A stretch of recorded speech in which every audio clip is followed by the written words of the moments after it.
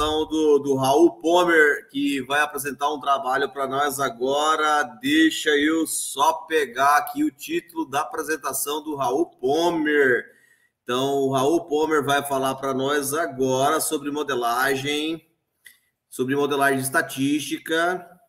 Tá, pera aqui, só um segundo. O Raul Pomer aqui vai falar. a gente está em casa. É, agora Tranquilo. aqui nós Exatamente. O Raul Pomer vai falar para nós agora sobre modelagem de equações estatísticas para nós nesse momento. Modelagem de equações estruturais com mínimos quadrados parciais. Então específico então, do específico. Exatamente. Então, sobre estatística pura. Então, para quem não sabe, não custa falar novamente, o Raul Pomer é o vice-coordenador do Clube de Astronomia e Ciências de Rondônia, mas não custa falar novamente um pouco sobre o currículo do Raul Pomer né? Então, rapidamente aqui, para não perder um pouco de tempo, já que tivemos um pouco um problema técnico lá com a palestra do, do Davu, que foi a nossa apresentação anterior. Então, o Raul é um pouco complicado falar sobre o currículo do Raul, porque é quase um livro, é. né? É, então, bem rápido aqui. Então, ele tem aqui, pelo currículo dele, né, graduação em administração ali, tem especialização em gestão ambiental, especialização em MBA em gestão e planejamento, especialização em MBA, introdução em, em políticas públicas, gestão em estatística aplicada, especialização em, em, docência no ensino superior, mestrado em administração aqui pela Unir e atualmente está fazendo doutorado na FGV, tá? Então, Raul, é contigo agora. Use aí, você tem até as. Agora são 2 horas e 14 minutos no meu relógio, tem até as 2 horas e 50 minutos. E vamos abrir aí para um tempo de pergunta do pessoal que está aí no YouTube para nos acompanhar. E, por favor, aí você tem até um 44, 45 minutos aí para sua apresentação. Vou sair da apresentação tá de vontade, beleza, Raul? Combinado, Ariel. Obrigado pela apresentação. Valeu, abraço. Abraço. Vou eu tirar isso aqui daqui. Tira. Tem outra coisa aqui. Acho que agora foi. Bom, pessoal, como bem disse o Ariel, eu sou o Raul Pomer, estou aqui hoje para falar de um assunto específico que é modelagem de equações estruturais com os mínimos quadrados parciais. Se você caiu aqui e não sabe o que é isso, vai aprender hoje o que, que é. Caiu de paraquedas. E tem muita parte teórica para a gente falar. É claro que cada tópico que eu vou falar hoje para vocês, e para aqueles que estão nos assistindo ao vivo, e para aqueles que vão assistir no YouTube, é, é um período curto, são 45 minutos para falar de um assunto muito grande. Então, cada tópico que eu vou falar hoje daria para fazer uma aula de seis meses. Mas o que eu, a minha proposta hoje é que vocês saibam que isso existe e plantar essa sementinha. Para quem sabe, quem estiver assistindo a gente depois, querer se aprofundar nesse assunto interessante. Formalmente, eu não preparei uma apresentação de PowerPoint, mas eu vou mostrar diretamente no software. É, vamos fazer na prática, tipo um speedrun, rodar esses testes e analisar de fato o que a gente pode encontrar aqui de interessante ou para que serve essa ferramenta. Eu já adianto que eu vou falar tudo muito superficial, mas daria para se aprofundar bem, tá, pessoal? Eu vou compartilhar minha tela aqui com vocês. Vamos ver.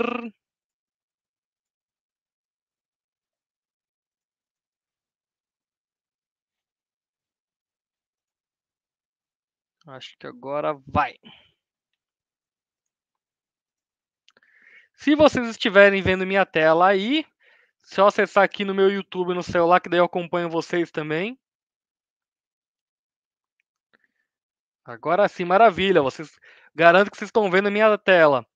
Essa é a minha primeira recomendação. Você, pequeno pesquisador que adora psicometria e quer estudar um pouco sobre modelagem de equações estruturais, essa é uma das bíblias que você deve ler, que é o A Primer on Partial Least Squares Structural Equation Modeling pelo Hare. Quem é da área de estatística conhece o Hare. Tem o Thomas Ruth, o Ringo e o Marco. São nomes bem conhecidos nessa área.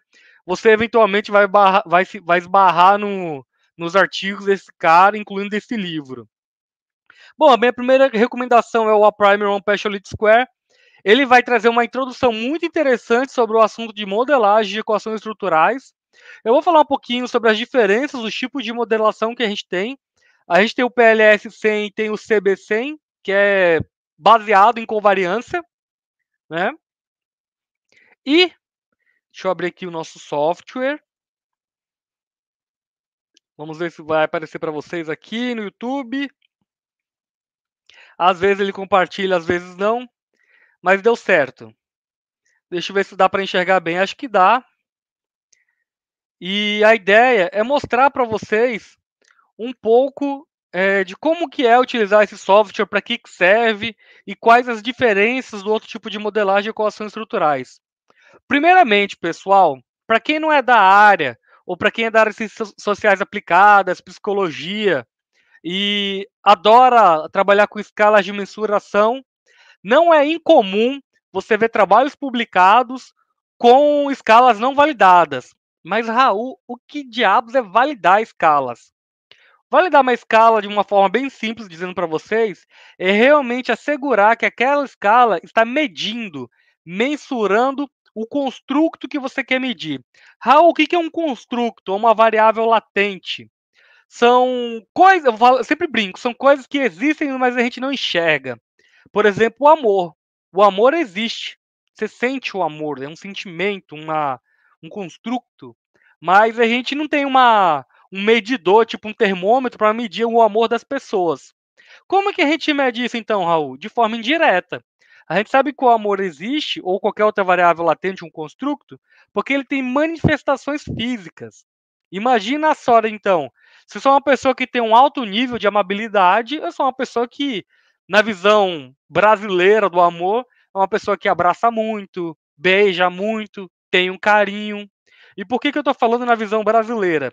Porque justamente a escala para medir o amor no Brasil vai ter essas faces, esses itens. Agora imaginem só, talvez um europeu, um russo lá do leste da Europa. Talvez seja diferente a forma deles de medir, de mensurar o amor.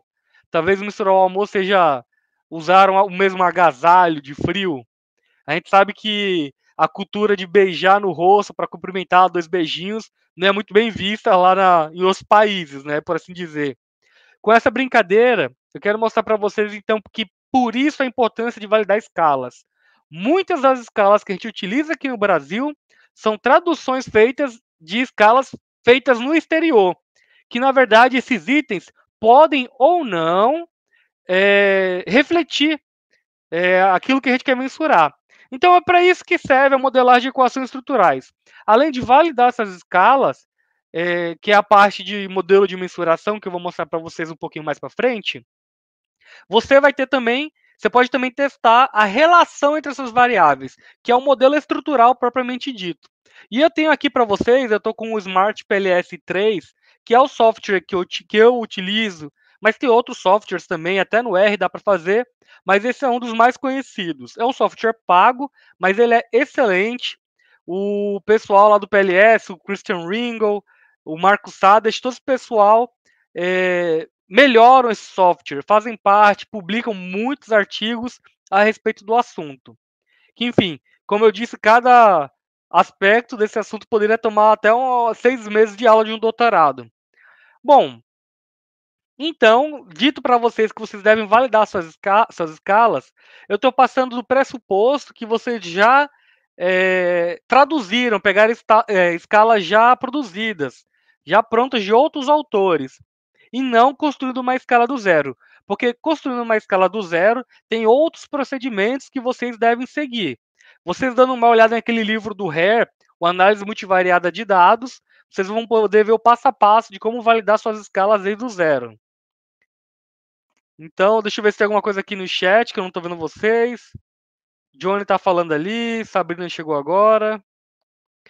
E o Johnny está pedindo para vocês se inscreverem no canal. Então não se esqueça de se inscrever no nosso canal também no YouTube e participar dos nossos eventos.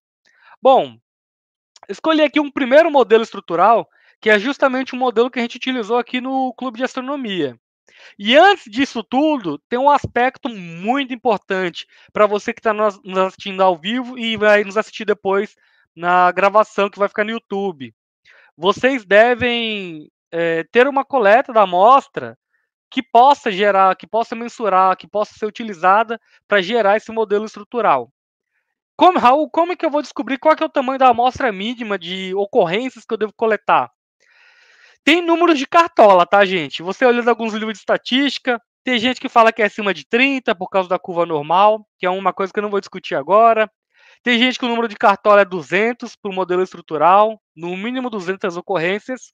E no Smart PLS, é claro, e não só no Smart PLS, tá, gente? Um software que eu vou mostrar para vocês agora é o G-Power. Ele é indicado pelo Shin e também pelo RER, pela galera do PLS aí, para você medir é, quantos, qual, qual que é o mínimo necessário de coleta que você deve ter. Então eu vou abrir aqui, vou ver se vai aparecer na tela para vocês, o G-Power.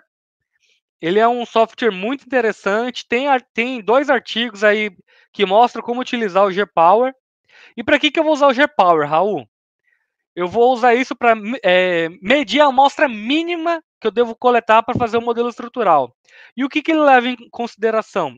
Primeiramente, eu vou tirar aqui de correlação para é, regressão linear múltipla, que na verdade uma modelagem de equações estruturais lida muito com regressões lineares. Cada relação dessa entre as variáveis é uma regressão.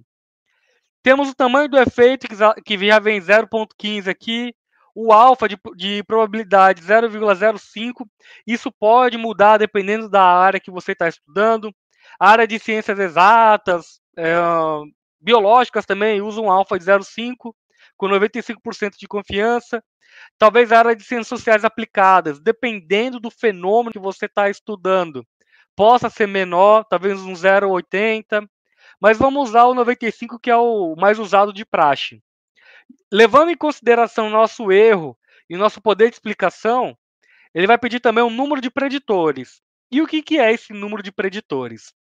O número de preditores, ele quer que você diga qual que é a variável com o maior número de preditores. Por exemplo, se eu usar aqui o estudo de, de, da astronomia, a gente pode ver que só tem uma variável preditora dela, que é entusiasmo pela ciência.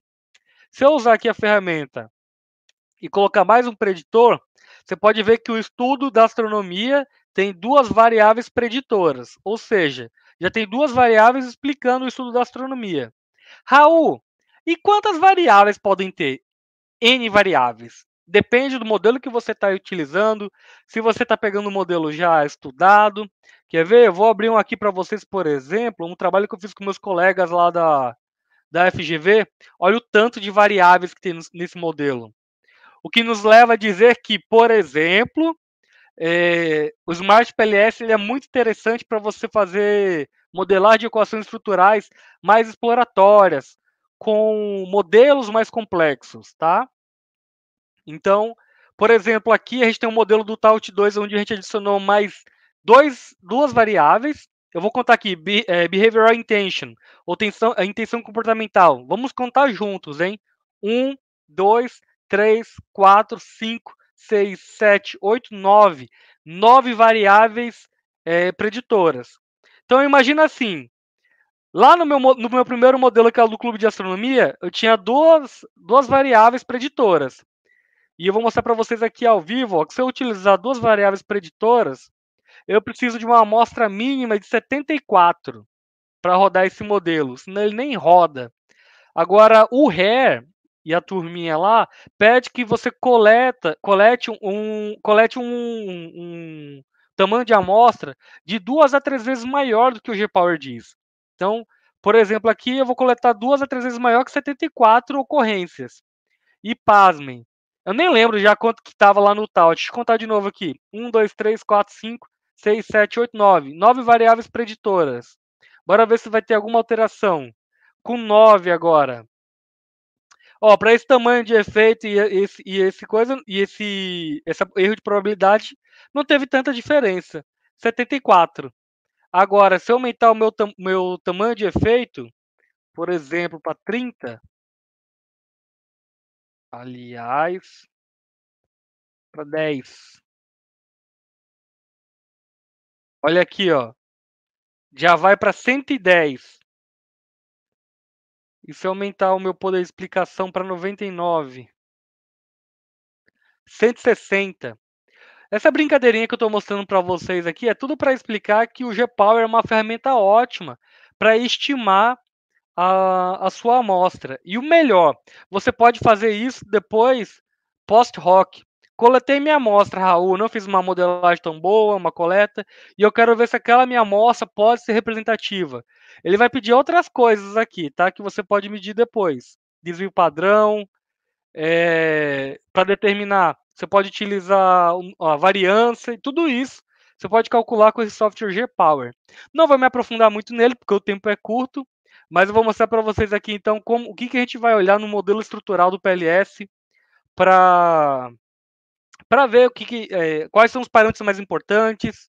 Como eu disse, cada parâmetro desse daria para fazer uma aula de três horas, mas a propósito aqui é pincelar para vocês saberem que isso existe. Raul, para que, que eu vou fazer tudo isso? Eu não entendo, Raul. O que, que é isso? Imagina aqui. Aqui tem um construto, que é esse primeiro que eu vou aumentar para vocês, que é o abertura para novas experiências. O abertura para novas experiências, ele mede o quanto o indivíduo ele é aberto a novas experiências, como o próprio nome diz, o quanto ele está propenso a participar de novas atividades. E isso é interessante. E o que são essas caixinhas amarelas aqui, pessoal? São os itens da sua escala. Então, essa, a, essa escala de abertura para novas experiências, de cabeça, eu lembro que tem algo do tipo: eu sou muito aberto, eu gosto de. Eu sou criativo, eu gosto de participar de novas atividades. E isso é uma escala de 1 a 5, sendo 1 para discordo totalmente e 5 para concordo totalmente. Então é uma escala de mensuração, uma escala Likert com cinco pontos, tá? Então eu vou, eu vou conseguir quantificar. Então, por exemplo, pessoas que têm um maior grau de abertura para novas experiências vão marcar o quê? Concordo totalmente. E as pessoas que têm um baixo nível de abertura para novas experiências vai marcar discordo totalmente. Então vocês já viram que já dá para mensurar isso, né? E o melhor, no modelo estrutural, então, depois, a, mes a mesma pessoa vai responder o questionário de abertura para novas experiências, vai responder por entusiasmo pela ciência e vai responder também o estudo da astronomia. Assim, por exemplo, eu posso ver o impacto de uma variável com a outra. Imagina só, se uma pessoa está aqui é, bem aberta a novas experiências e ela marca o entusiasmo pela ciência e o estudo pela astronomia bem alto também. Então, quer dizer que pode ter uma relação, uma correlação entre as variáveis. O que também pode acontecer é uma pessoa que tem uma alta abertura para novas experiências e ela tem um baixo entusiasmo pela ciência. Isso vai mostrar que tem uma relação talvez inversa, né? Então o que a gente quer provar com tudo isso é que na nossa amostra calculada a gente consiga ver a relação de uma variável com a outra, tá? Uh, o Johnny falou, aliás, Gabriel tá aí, o Gabriel é meu colega de doutorado na FGV. E o Johnny diz: qualquer dúvida, pergunte no chat. O Raul lerá e responderá ao vivo neste evento. É claro, estou aqui para responder as dúvidas de vocês. Bom, então eu quero ver o impacto da abertura para novas experiências em entusiasmo pela ciência e no estudo da astronomia. Tem outra coisa interessante que está acontecendo aqui, quando eu puxei essa setinha, que é um fenômeno chamado mediação. Raul, o que é mediação? Novamente, eu tô falando um negócio assim bem superficial, tá? O pessoal que gosta de modelagem não vem me brigar comigo aí no chat depois ou nos comentários, porque não estou me aprofundando, mas aqui é um apanhado inicial. Olha que interessante, essa relação de abertura para novas experiências e estudo da astronomia pode ser mediada de meio pelo entusiasmo pela ciência. Imagina só, se esse caminho aqui for significante e tiver um coeficiente maior do que a abertura para experiências e estudo de astronomia. Pode acontecer. Às vezes, um caminho mediado é mais forte do que um caminho direto. E só isso já vale também fazer um estudo mais aprofundado. Bom, expliquei um pouquinho do, das escalas, das mediações. Vamos testar esse modelinho aqui que é o mais básico. Eu vou aqui ó, em Calculate, uh, eh, PLS Algorithm, Aqui pode ficar tudo que está vindo de. Vem de fábrica, né? O default e start calculation. Qual é a primeira coisa que a gente olha aqui? Eu volto lá no meu modelinho e ele vai me mostrar vários parâmetros. Raul, o que são esses parâmetros? Vou, dar um zoom aqui. Ele vai te dar as cargas fatoriais, que de acordo com o Hare e turminha tem que ser acima de 0.7. Então, olha aqui, ó, o Open1, a primeira variável, é 0.911, 865, 925. Todas essas variáveis estão dentro do parâmetro que é, que é esperado de acordo com Ré, acima de 0,70. Eu vou mostrar aqui para vocês, tem uma tabela que é a tabela suprema, que eu sempre brinco, que é essa daqui, ó. Essa tabela está no, no, no artigo publicado pelo Ringel, que é um alemão lá da Alemanha, né? Claro, Raul. Ele é o professor que mexe com PLS lá da Alemanha. O Diógenes Bido, da Universidade Mackenzie. E, se eu não me engano, tá o Dirceu da Unicamp. É o Dirceu Silva. Então é o Ringo, tá aqui em cima, o Ringo, Silva e Bido. Então eles fizeram um artigo, eu sei que eles publicaram um artigo mais atual, mas essa, esse quadro aqui é muito interessante, porque ele vai mostrar os parâmetros. Raul, eu não entendo nada de modelagem de equações estruturais.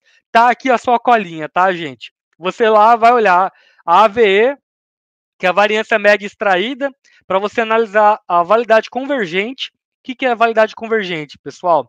É o quanto os itens estão convergindo ao seu construto. É claro que se eu estou medindo, se eu estou medindo abertura para novas experiências, eu espero que esses itens aqui, de maneira alguma, estejam medindo, por exemplo, estudo da astronomia. Faz sentido este item estar mensurando outro, outro construto? Não faz nenhum. E a variância média extraída, a AVE, vai me dar esse parâmetro que a gente espera que seja acima de 0.500, 0.5. E o melhor desse, desse quadro aqui é que a gente dá até a referência. Quiser lá colocar só a referência, tá ótimo, que é o Rensselaer. Uh, Para analisar a validade discriminante, a gente tem alguns critérios. O primeiro é das cargas cruzadas. Tudo isso daqui a gente vai ver hoje, tá, pessoal? Antes da finalização dessa curta palestra aqui. O uh, que, que é a validade discriminante? O quanto meus construtos estão divergindo, discriminando os meus itens dos outros. Então, por exemplo, se meus itens, é, uma coisa é dizer que os itens estão convergindo para o meu construto, outra coisa é dizer que esses mesmos itens não estão convergindo para os outros. São testes diferentes, tá? Então espera que as espera-se que as cargas sejam maiores nas suas variáveis originais do que nas outras. Eu vou rodar e vou explicar para vocês também. O próximo critério é o critério Foner-Lacker, ou correlação desatenuada. Então a gente vai comparar a raiz quadrada dos valores das AVS tem que ser maiores do que as correlações entre construtos. Raul, eu não entendo nada do que você está falando. Vou mostrar para vocês aí ao vivo também.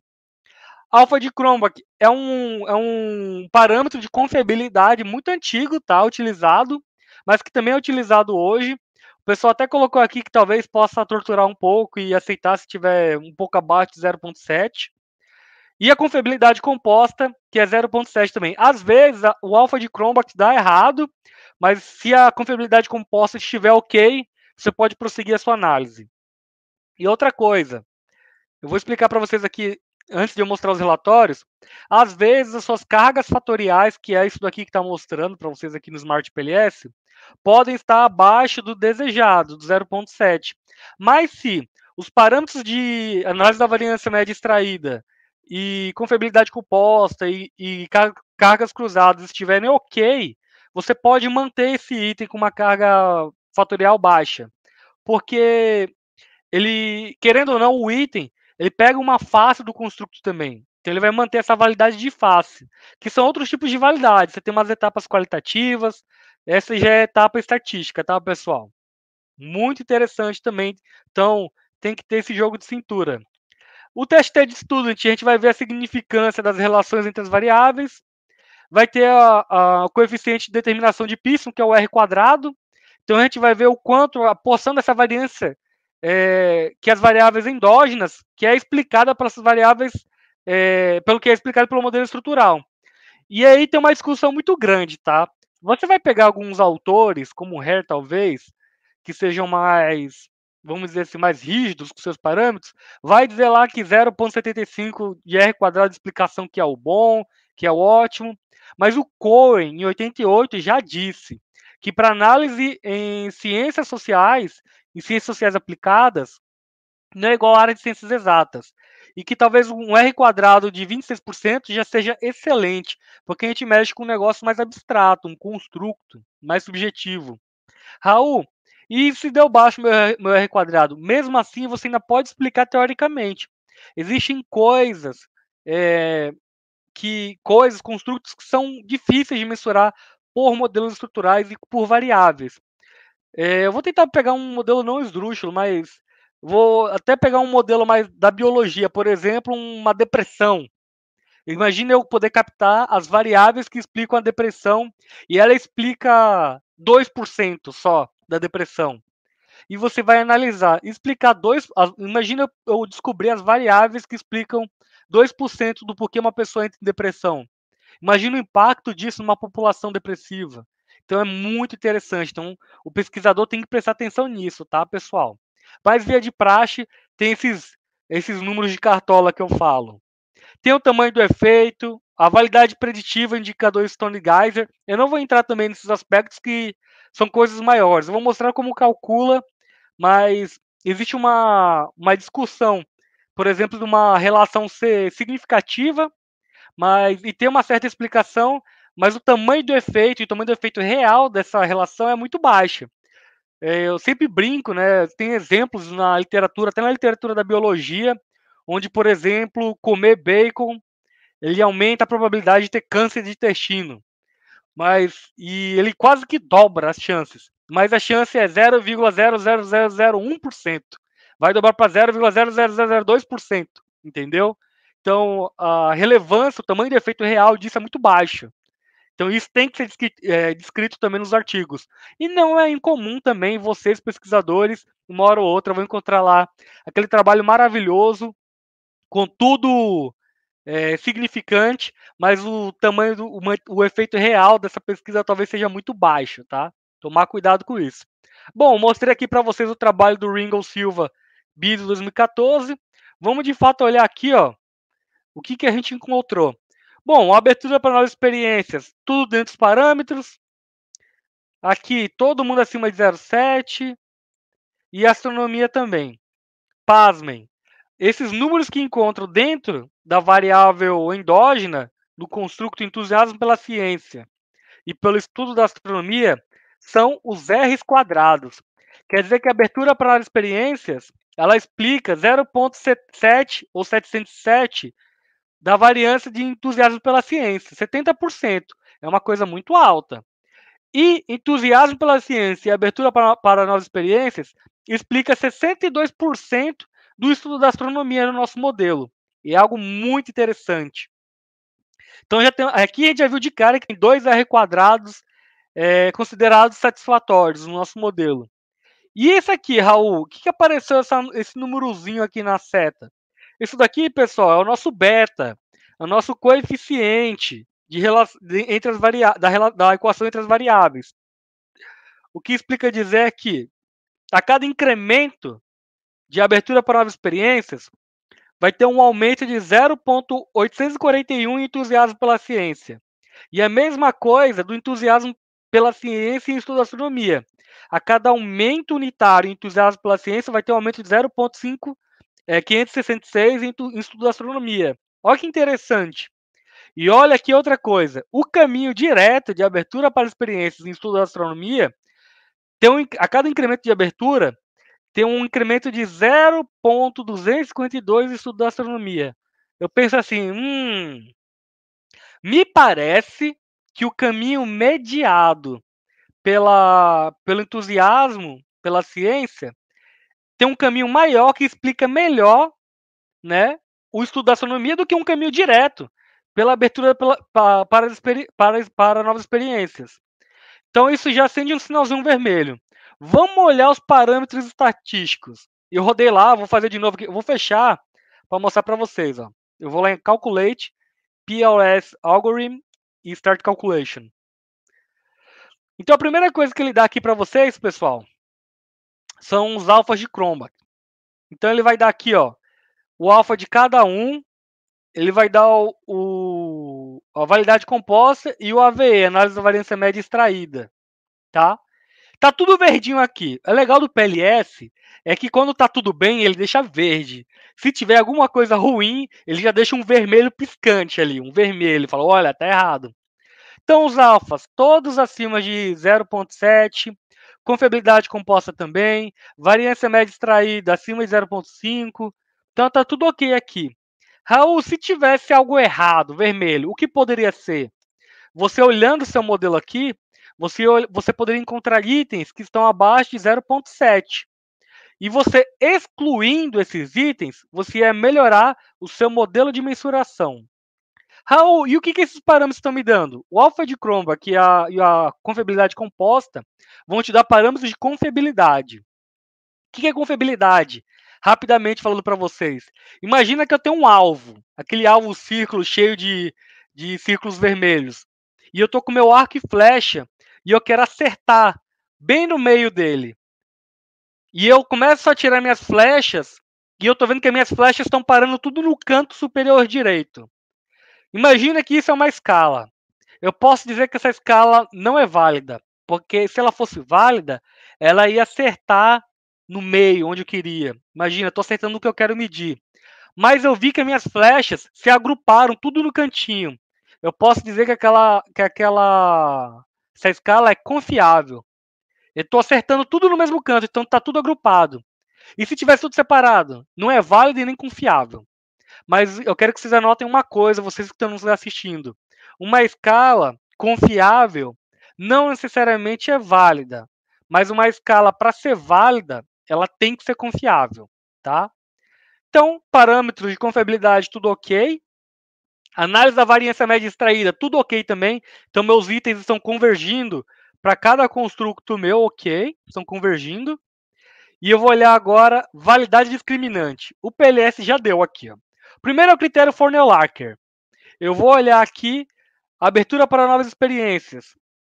A raiz quadrada da variância média extraída está maior, 0.854, do que nas correlações abaixo, que é 0.841 e 729. Quase, hein? Mas passou. Mesma coisa o entusiasmo pela ciência e o estudo da astronomia. Então, no critério Foner-Larker, passou também. Agora, olha esse tanto de número aqui, ó. Eu estou pegando um modelo simples, tá, pessoal? Os modelos podem ser enormes. Raul, o que, que é esse tanto de número que está aparecendo? Isso daqui são as cargas cruzadas. Então, você está vendo aqui, ó, os itens astronomia 1, 2, 3, 4, 5, 6, eles devem ter cargas maiores no seu construto, que é o estudo da astronomia, do que nos outros, que é abertura para experiências e entusiasmo pela ciência. Então, vou olhar lá aqui em linha. Ó. Lá o meu item Astronomia 1, em estudo da astronomia, está com 0.902. Vamos olhar nos outros agora. 0.748, 0.654. Pô, tá ok, então. Validade discriminante para astronomia 1, no estudo da astronomia, tá ok. E a gente procede olhando todas as outras variáveis, tá? Então, ó, 884, 799, 892, 713. Tudo maior no seu respectivo construto do que nos outros. E eu faço isso para os outros itens. Abertura, que é Open One. 911, tá ok, ele está aqui no construto dele. Bora olhar para entusiasmo pela ciência e estudo da astronomia. 790, 655. Pô, tá ok então. 0.9 e eu faço isso para todos os outros. Esse modelinho tá bonitinho porque a gente já trabalhou nele, tá? Tem o Etro Monotrate, ó, tá ruim, mas eu não vou entrar também nessa discussão. Ele pode aumentar ou não, ó, essa faixa de, de exclusão. Vamos abrir então agora a validade discriminante. Vamos olhar a colinariedade, que é o VIF. O Open, o que, que é multicolinariedade? Para quem é da área de estatística e mensuração de escala, sabe que isso é um problema. Explicando rapidamente para quem está aqui e nunca ouviu falar disso, imagina que a gente tenta estabelecer uma relação linear entre as variáveis. Vou pegar dois construtos. O estresse no trabalho, imagina aqui ó, o estresse no trabalho, e eu vou pegar aqui ó, é, a satisfação no emprego, ou a satisfação no trabalho. Supostamente, quanto maior o seu estresse no seu trabalho, menor a sua satisfação no seu trabalho. Só que aí tem um problema. Da mesma forma, quanto maior a sua satisfação no trabalho, menor o seu estresse no trabalho. E isso é um problema estatístico. Provavelmente, se você vai medir lá, vai estar tá multicolinariedade, isso que significa, vai dar um monte de problema. Supostamente, abaixo, é, tem que ser abaixo de 5. Tem gente que fala que é 10. Mas aqui estão, tem alguns problemas de multicolinariedade, que eu não vou me aprofundar muito mas é um ou outro item e o restante do, dos índices está ok. A gente prossegue então. Tem o model fit, que eu não vou discutir agora, que isso é algo herdado do, da modelagem de equações estruturais com modelos baseados em covariância. E, e, a gente não vai, não vai se aprofundar nisso. Para o PLS, isso aqui não serve de nada, tá? O que quadrado, NFI, isso é para modelos baseados em covariância. De vez em quando a gente pega aí um, um revisor mais chato, mais velho, que não gosta. Ah, eu quero ver. Mas esse não é o propósito do PLS, tá? Bom, olhe, vamos olhar o R quadrado, o R quadrado ajustado. 0,7, 70%, e o estudo da astronomia 0,6. Tá ok também, tá? Pelo Shin e pelo Hair, pelos dois autores está excelente. Bom, Raul, e agora, o que, que sobrou? Vi R quadrado, ouvi as cargas fatoriais, vi, analisei a validade convergente, analisei a validade discriminante, para onde que a gente vai agora? Agora, meus senhores, a gente quer saber se essa relação entre uma variável e outra é significativa estatisticamente. Para isso, a gente vai fazer um bootstrapping. Raul, o que, que é um bootstrapping? É uma reamostragem. Imagina aquela minha amostra lá, e a minha amostra, vou até lembrar, uma amostra até baixa, esse do clube, é 104 respondentes. Imagina que eu pego essa minha amostra e eu vou coletando amostras dentro dessa amostra, as subsamples, que eu vou testar estatisticamente se eles são significantes ou não. E eu vou fazer isso continuamente, essa reamostragem. Vou lá, pego a minha amostra, coleto uma amostrinha nela, vejo se as relações são significantes, devolvo a minha amostra, na minha amostra maior, coleto de novo, isso tudo de forma aleatória. E eu posso fazer isso N vezes. De fábrica, vem 500. Mas o recomendado na literatura é 5 mil. Porra, o 500 tá bom, é, mas 5 mil exime qualquer probabilidade de você fazer p-phishing e por aí vai. Eu não vou fazer o de 5 mil, que às vezes meu computador até dá uma travada. Ah, vai, vou colocar aqui, vocês vão ver que demora. Negócio que 5 mil. Eu não vou botar complete bootstrap. Não, eu vou colocar também, às vezes demora. E vambora. Olha como dá uma demorada. Tá calculando, hein? Isso no meu computador, que é um, um i7, nova geração, já demora, tá? Vamos aí, tá rodando alguns segundos. Você vê que é, é um cálculo que não é igual uma calculadora. E olha que interessante. Ele acaba de me dar os p-valores da relação entre abertura para as experiências e entusiasmo pela ciência, deu significativo, e abertura para experiências em estudo da astronomia, não deu significativo, 0.059. E o entusiasmo pela ciência e estudo da astronomia deu significativo. O que, que significa, Raul? Ele até mudou aqui, ó. Sabe o que, que ele mudou? Ele está mostrando agora os T-valores. Não é o P, tá? É o T-valor. Que número de cartola acima de 1,96 para ser significativo. Então, de abertura para entusiasmo, a gente tem 17. Entusiasmo para estudo, 4. E abertura para experiências para estudo tem 1,88. Lembrando que o ponto de corte é 1,96. Ah, Raul, o que, que significa? Se a gente levar à risca o 0,05 da, da estatística, significa que esse caminho não é significante. Então, o único caminho significante é de abertura para entusiasmo e entusiasmo para estudo da astronomia. Mas agora, quero que vocês tomem cuidado, pesquisadores que estão ouvindo agora. Não deu significante, porque o parâmetro ótimo é 0.0, abaixo de 0.05 p-valor. Mas aí eu te pergunto, e agora, Raul, tá quase ali na, na divisa.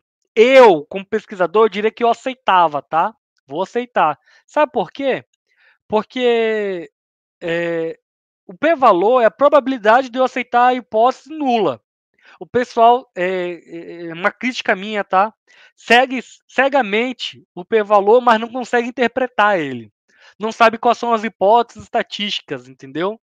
Então, no meu caso, eu aceitaria esse p-valor. Agora, com um, um, revisor, um revisor numa revista, muitos revisores não têm esse, esse critério de análise. Ele vai querer abaixo de 0,5 e acabou. Então, fica aí para quem está nos assistindo a se pensar, tá? Conseguir interpretar o que significa um p-valor é muito importante. Já pensou, eu rejeito uma pesquisa porque tem o 0,051 o 0001. A probabilidade é quase nula, de 0,009 aqui, ó de eu não aceitar a, a, a hipótese. Então, há de se pensar, tá, gente? Ainda mais ciências sociais aplicadas, não faz muito sentido. Mas tudo bem, vamos supor então que eu não vou aceitar essa hipótese. É para isso que serve então o bootstrapping. Ele vai me dar significância estatística entre as relações. Marcela pergunta, agora que eu vi. No caso da multicolinariedade, excluímos as variáveis que apresentam colinariedade ou escolhemos um para representar? Qual seria o critério para essa escolha? A gente ia excluir os itens da escala que tem multicolinariedade. Ele vai mostrar lá, ó. Vou abrir de novo o, PLS Algorithm. Aqui o VIF. O que, que é VIF? Traduzindo, é fator da inflação de, da variância. Então, olha aqui, ó. Ele está me dizendo que o Open 3 está com 5.162. Então, eu vou aqui. Olha como é fácil, Marcela. Eu vou aqui em Open 3, ó, seleciono ele e tchau. Aperto Delete. Deletei. Olha como eu já caiu fora do meu modelo. Aí eu vou lá, calculo de novo e Start Calculation. Vou olhar o VIF de novo. Ninguém com problema, hein? Agora tá aqui, ó, Science 5. Também tá com problema de multicolinariedade. Eu vou lá no Science 5, ó. Que é esse aqui. É o 5 mesmo?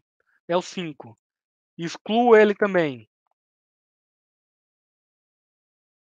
Excluir, calculo de novo. É que esse daqui é um modelinho simples, tá, gente? Aí agora tá todo mundo ok. E quando você exclui uma variável, ela tende a, uma variável ruim, ela tende a melhorar o modelo como todo. Mas aí é uma, é uma discussão também entre a entre a, a comunidade científica, que é você excluir variáveis, você está fazendo algo que a gente chama de overfitting. Você está ajustando o modelo demais e você está perdendo a explicação é, teórica dele, por exemplo. Então, cuidado com o overfitting. Você pode excluir. Eu, por exemplo, sou o cara que exclui, mas tomar cuidado com esse overfitting, tá? O Wellington Nascimento pergunta: Raul, se eu estiver, por exemplo, pesquisando algo como um fármaco, você acha que deveríamos ser mais criteriosos com o p-valor? Aí eu te vou te explicar uma coisa agora. Saiu até uma nova novo medicamento aí pro Covid, tá? YouTube, não derruba nossa live, hein? Que tá lá com 50% de chance de você não ir não ir hospitalizado. Metade, gente. Não é 95, é metade. Pô, então é o que a gente tem, entendeu? Eu vou entrar, posso entrar, por exemplo, também em, em explica, outras explicações do p-valor. Por exemplo, medicamentos é, quimioterapia para câncer. A gente sabe que os, o, os fármacos utilizados eles são altamente citotóxicos.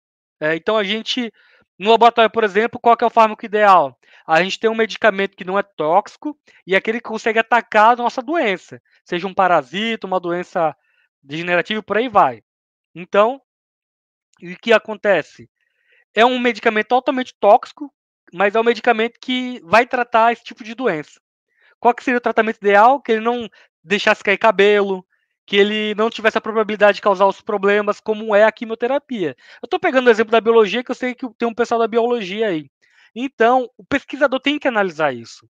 A gente lá do laboratório, que mexe com malária, eu achei lá um, um, um teste de hipótese lá de diferença do meu fármaco para o convencional, fiz lá meu, minha, a nova, meu teste T, deu a diferença de um p-valor de 0.006. E eu não vou aceitar, por causa de 1% de probabilidade de eu aceitar a hipótese nula. É besteira, né? Certamente. Mas isso que eu falo, a ciência tem que ser por pessoas que sabem argumentar, interpretar esses valores. O que muitas vezes você vai encontrar em revisores em periódicos que não sabem que o p-valor tem que ser abaixo de 0,05. Não sabem nem o que, que ele significa e como interpretar ele. Então, pesquisadores que estão vendo aí, tomar cuidado com isso, tá? Bom, mostrei aí para Marcela o VIF, né? Excluir as variáveis ruins. E estamos chegando ao fim da minha apresentação. Eu vou rodar um modelo maior aqui, por exemplo, que é, olha esse modelo. É um modelo de intenção de uso de aplicativos de delivery, tá? Então, olha aqui, ó. Tem a expectativa de performance, que é o quanto eu acho que aquele aplicativo vai me ajudar a aumentar minha performance, de esforço, o quanto eu acho que utilizar o aplicativo vai, vai, vai pedir meu esforço, influência social, o quanto as pessoas que eu acho importante acham que eu deveria utilizar aquele aplicativo, valor de preço, o quanto eu acho que é caro ou não utilizar, motivação hedônica, é aquela coisa de quão divertido é utilizar o aplicativo, o hábito, se eu já utilizava esse aplicativo, e condições facilitadoras, que é o quanto eu acho que é, o aplicativo me dá condições fáceis de utilizar ele. Isso tudo é um se chama o Tout 2, é um modelo unificado da o Tout é, é modelo unificado da aceitação e uso da tecnologia. Eu não me engano, modelo 2, que é do Venkatesh. E aí, a gente não contente com esse mundo de variável, a gente ainda, aliás, e essas variáveis são preditoras da intenção comportamental, que é a intenção de utilizar esse aplicativo, e do de fato do comportamento de uso. Aí a gente não satisfeito com esse de variável, a gente adicionou duas variáveis novas, que é o medo da Covid-19 e a infectabilidade percebida, que é quando a pessoa tem medo de se infectar. Bora ver se isso aqui deu certo ou não, Raul. Olha o tamanho. Olha o tamanho de tantas variáveis. Tá ok, tá ok. Bora testar aqui rapidamente o bootstrapping. Vou baixar para 500, que são muitas variáveis. Bora ver se isso é significativo ou não. E aqui vocês vão ver, ó. Vamos olhar só as variáveis novas que a gente já adicionou e vamos encerrar essa, esse mini curso aqui. Olha que interessante. A infectabilidade percebida teve um caminho é, direto para comportamento do uso de aplicativos de delivery é, significante. Então, as pessoas com medo de se infectar estavam de fato utilizando um aplicativo de delivery. Ah, Raul, isso é óbvio. É, o que não é tão óbvio, por exemplo, passar por intenção comportamental. Será que isso que é essa infectabilidade percebida é, é, é, uma, é, uma, é uma variável que a gente botou no nosso modelo, mas tem N variáveis que você pode estudar. E o medo da Covid-19 também teve uma variável direta, uma relação direta, ela não foi mediada pela intenção comportamental. Raul, qual é a aplicação prática disso? Significa então que, por exemplo, empresas de aplicativo de delivery poderiam explorar isso proporcionando ambientes seguros, falando: olha, pessoal, estamos agora fazendo, fazendo delivery, estamos mostrando um ambiente seguro, nossos entregadores estão utilizando máscara, estão usando álcool. Parece óbvio, mas muito disso não foi feito durante a pandemia. E a gente vê os resultados agora, quase dois anos, né? Esse trabalho foi aplicado ano passado, estamos aí tentando publicar ele também. Bom, pessoal, eu acho que é isso. Eu vou finalizar porque a gente tem um próximo. A gente tem um próximo. É, a próxima palestra agora, que é com o Wellington, se eu não me engano, sobre observação de aves aqui no sul da Amazônia. E eu estou sempre disposto a responder perguntas. Tenho meu contato, eu vou escrever meu contato aqui embaixo. Vocês podem encontrar a gente lá na nossa página do clube, né? E eu sou sempre muito aberto a fazer trabalho. A Marcela também já me conhece. Ela falou que tem um artigo interessante na né, Nature que fala justamente do P-valor. Exatamente. Inclusive tem críticas ao P-valor, que, por exemplo, chamado P-fishing.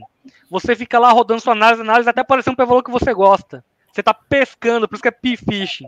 Então, tomar cuidado. Tomar cuidado com multiculinariedade, tomar cuidado com escalas que não foram validadas. Tudo isso que eu mostrei para vocês é para validar suas escalas. O que acontece, Raul, se eu não validar minha escala? Significa que os seus resultados lá no final não podem ser corroborados. É muito comum. A área de administração, contabilidade, psicologia principalmente, biologia, tá? Eu já vi trabalhos que querem mensurar o medo de serpentes e vocês não validam suas escalas. Elas estão mensurando qualquer coisa menos aquilo que você quer validar, o que vai acabar com seus resultados. Se cair na minha mão, por exemplo, eu já ia criticar isso tudo que eu falei para vocês hoje aqui um pouquinho já é pedido aí por periódicos, pelo menos periódicos de alto impacto, tá? Pessoal, é isso, não vou me estender mais e muito obrigado pela atenção de todos. Ariel, não vai, não vai, se, não vai se estender mais porque senão eu vou fechar o microfone dele. É.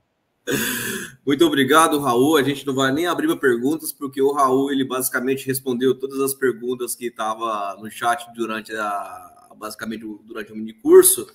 E vou pedir para o pessoal é, voltar para a nossa página inicial do, do YouTube, porque eu já abri a live já que o Wellington vai fazer agora, que é dicas sobre, de observação de aves no sul da Amazônia. E Raul, novamente, tá? Eu coloquei o, o e-mail do Raul aqui em evidência. Então, quem tiver alguma dúvida, algo mais, vá lá e entre em contato com o Raul e entre em contato também. Se tiver alguma outra dúvida, entre em contato com o Raul também através do nosso, dos nossos canais também lá, que sempre o Raul responde lá pelo Instagram. Então, gente, vou encerrar a live aqui agora e agradecer a todos que acompanharam a live nossa agora. E, por favor, vão lá para outra live no, no, no, outro vídeo que eu acabei de abrir lá já e vamos acompanhar a live do Wellington agora. Obrigado e valeu, gente. Obrigado, pessoal. Tchau, tchau. Tchau.